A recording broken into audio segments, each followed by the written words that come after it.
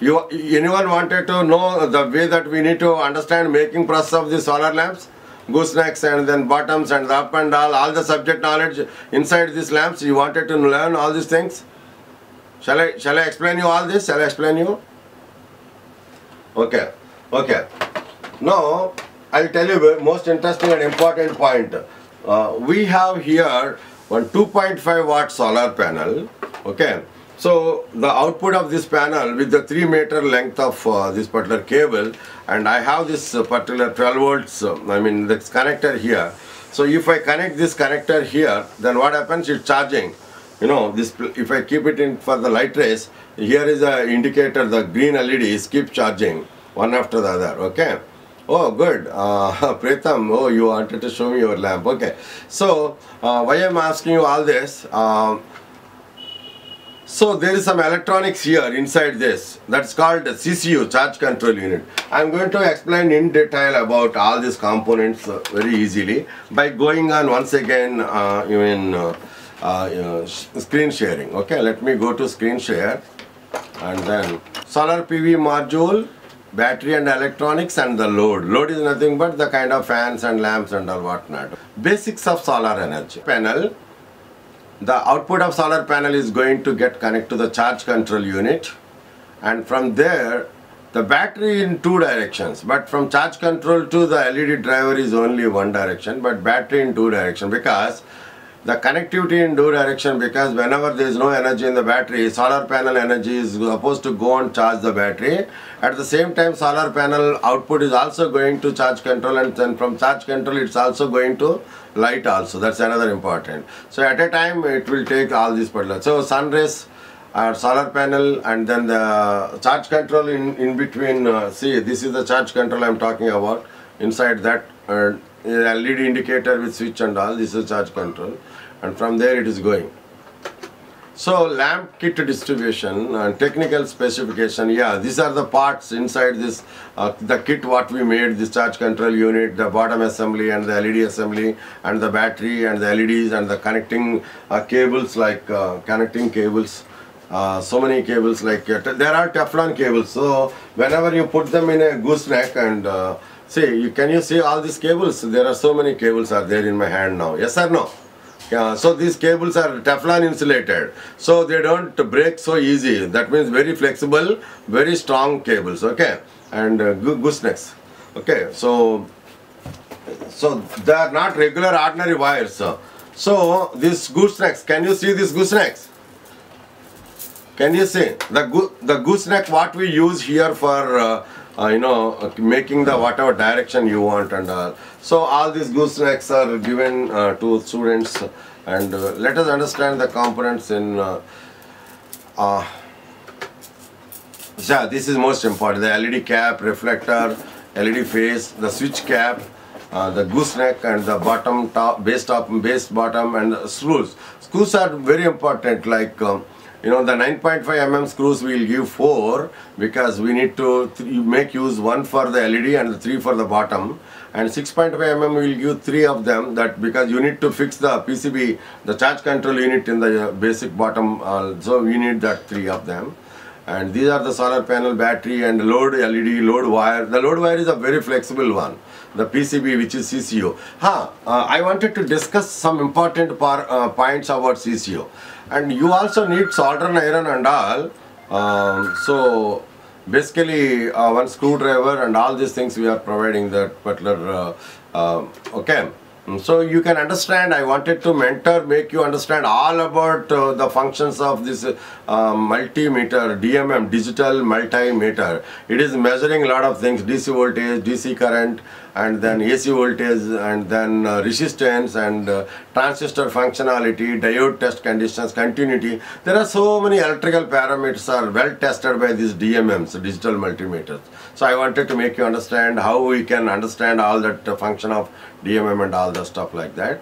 Okay, so these are the components like base top, base bottom, and LED cap, LED face, and the reflector. The reflector is very important part of this particular light because the kind of energy coming out of LED, it has to be reflected to such a place of the table where you can keep your books where you can keep so a digital multimeter. The digital multimeter in the sense dmm in the sense uh, see multi means many. So a lot of electrical parameters like dc voltage and then dc current and ac voltage uh, like uh, and then resistance and all these things are uh, well uh, uh, can well measured okay and resistances and then we can also test with uh, you know this kind of transistor functioning and also we can test the diodes and all these things can be well uh, tested with this particular multimeters with the given probes and all. So digital multimeters are very useful. So we need to have one digital multimeter. In fact I have here two digital multimeters.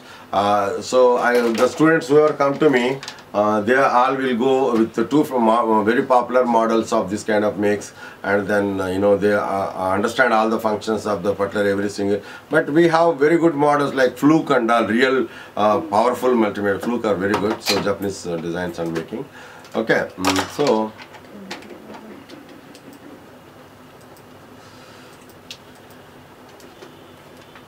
This reflector is very important and essential part. Why? Because i am telling you because the kind of uh, energy this particular LED uh, produces and that energy has to be reflected all across the place. Where is the LED so that the small portion of the LED you know it is almost just uh, uh, 3 mm by 3 mm and if at all that 1 watt of energy is consumed here and if it is not properly reflected then you don't get the spreaded light on your table. So the reflector plays vital role in our design and make and all this very important for all of you. And then up above all that uh, the load wire is very important to have a Teflon insulated wire. Why? Because uh, you know number of times you just play with the goose uh, and uh, you know any number of times, the, any number of ways, all the way you do all this, nothing goes wrong because it's a Teflon insulated. Okay, so. Uh, this battery is very important. I request all of you to note down the specs of this battery. The output operating voltage is 3.2 volts and the maximum milliampere hour rating is uh, lipo batteries uh, you know with uh, output of uh, 3.2 volts. That's the operating voltage. And then uh, 2000 milliampere hour is the like your cell phone and all you all talk about no? My cell phone 4000 mAh. mAh and all mAh you all talk but you never try to understand in similar, the kind of battery what we have is 2100 milliampere hour. Okay, mAh is milliampere hour. That means ampere hour. Okay, so 2000, uh, in fact, 2 ampere hour you can say. That means uh, 2 amperes per 1 hour it can deliver. That is the meaning and understanding of that. So if you charge that battery, suppose say uh, 0.5 ampere an hour. That means 4 hours it will be taking so the kind of uh, panel what we are giving uh, with maximum charge current of uh, uh, 0.5 ampere. So with this panel with this panel if you connect our uh, lamp and it will charge the battery 5 to 6 hours very nicely easily okay? So sufficient enough this kind of 2.5 watts panel with the maximum current of you can understand all that very important. The operating voltage is 5 volt and the open voltage is 6 volt. So that when you connect to some uh, device the voltage comes down from 6 to 5 and then the maximum current is uh, 0.5 as you all know that power is the product of voltage and current. So if you multiply that uh, you know the 5 volt multiplied with the maximum current what you can pull out is 0.5 that is 5 into 0.5 is going to be 2.5 watts uh, for every one it can deliver so you can load this you can charge your regular given this particular uh, solar study lamp uh, near about 6 watt of energy can be stored into this. So near about 2.5 uh, uh, watts of energy you are getting out of it from this panel at uh, optimum conditions. So 3 hours is more than sufficient but take roughly 4 hours so that comfortably coolly it can uh, charge the bat.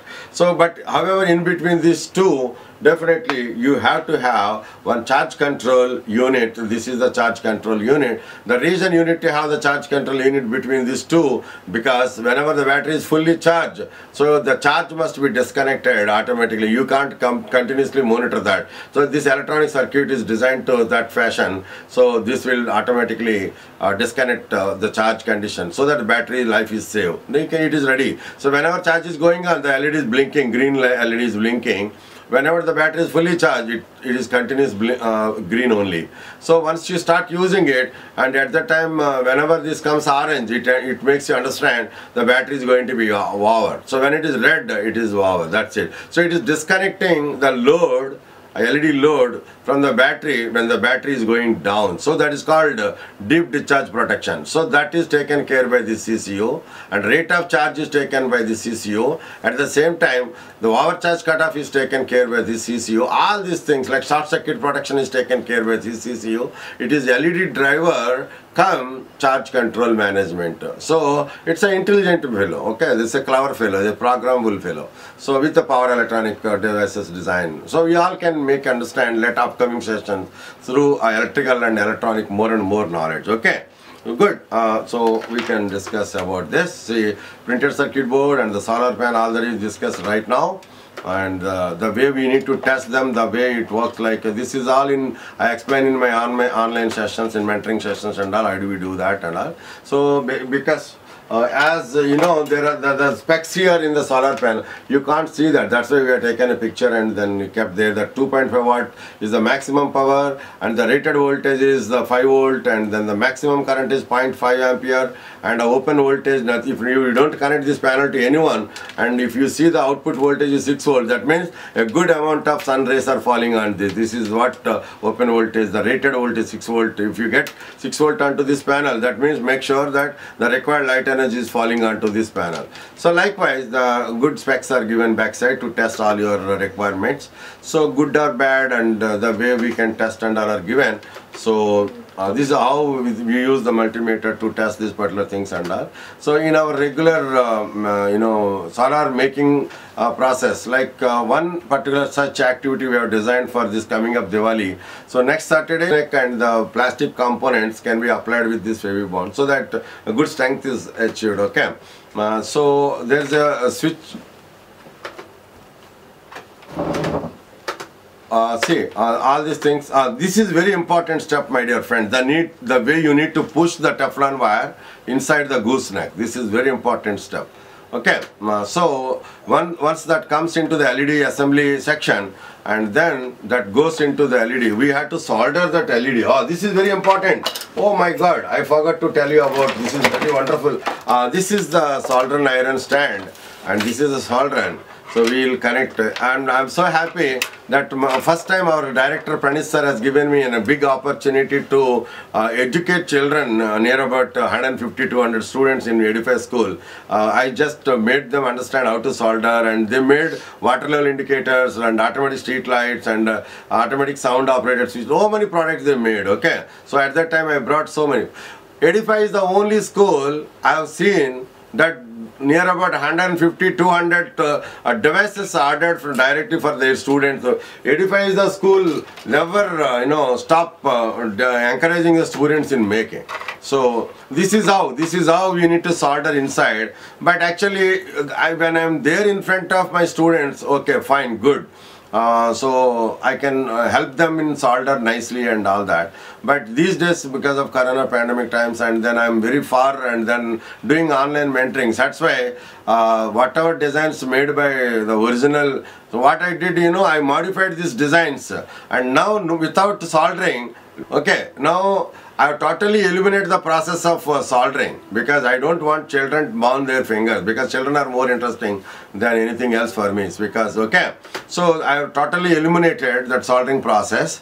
So you need to ask me how you eliminated. So how the connectivity established, that I did, I will tell you later, okay. In the kits, uh, there are there. So you don't have to solder. Without soldering, I have modified the design so that without uh, any compromise the text specifications, the backups and all are same and without even soldering you will be able to make the lamp. Don't worry about it. Already practically we tried and near about 50 students already did from various parts of uh, AP and the entire India. So that we did in Dr. Kalam's place, uh, birthday.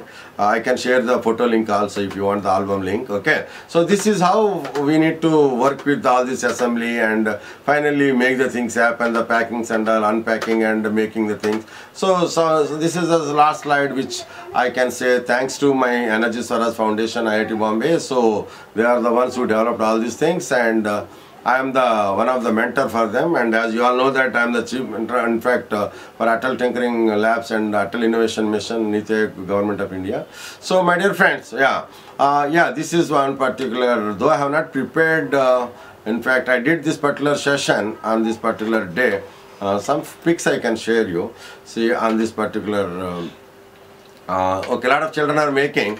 Uh, and uh, yesterday also one small tinker has come, a six and a half year kid, Charvik. If you browse his YouTube, like I'm going to share the things. For, uh, uh, this is the, uh, no, 15th October we did solar lamp workshop.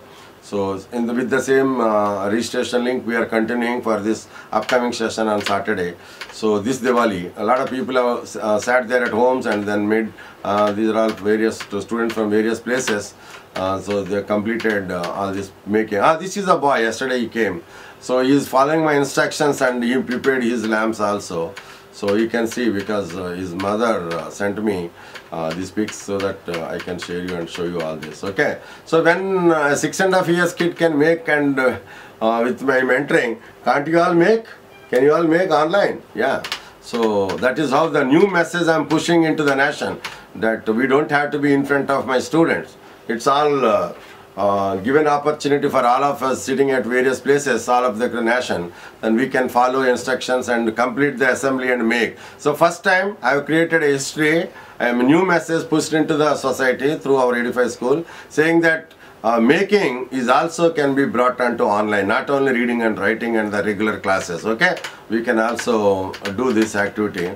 So uh, as we have modified the stuff like that that's where the things are happening possible okay? Anyway uh, these are the uh, few pics from uh, october 15th uh, i mean uh, dr kalam's birthday 89th birthday. I have created a new message for all of i can share these links and i mean so um, i believe this is a part of yeah. Okay my dear friends